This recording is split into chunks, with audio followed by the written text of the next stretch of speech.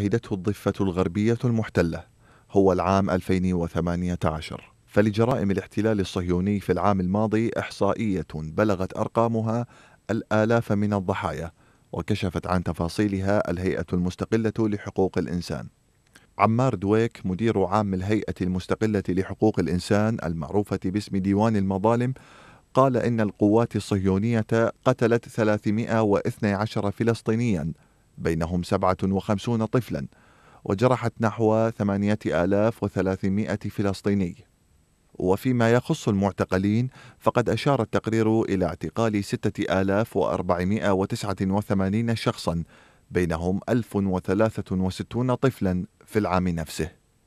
سجل عام 2018 أعلى نسبة شهداء منذ العدوان الإسرائيلي على قطاع غزة في سنة 2014 حيث آه، تم استهداف حياة وقتل 312 فلسطينيا في كل من الضفة الغربية بما فيها القدس المحتلة وقطاع غزة.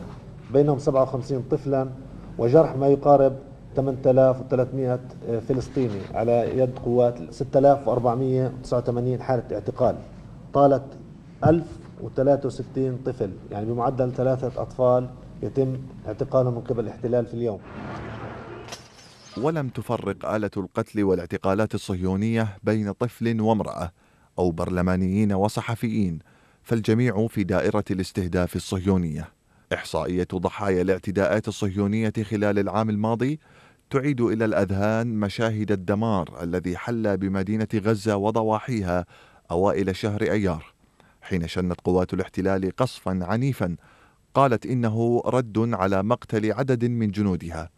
وأسفر العدوان عن مقتل 25 فلسطينيا وإصابة 154 بجروح بحسب أرقام وزارة الصحة الفلسطينية. وتبقى مساعي الاحتلال الصهيوني حثيثة في تدمير قدرات المقاومة الفلسطينية منذ عام 2008 وإسكات صوت هذه المقاومة ولو بسفك المزيد من دماء الفلسطينيين.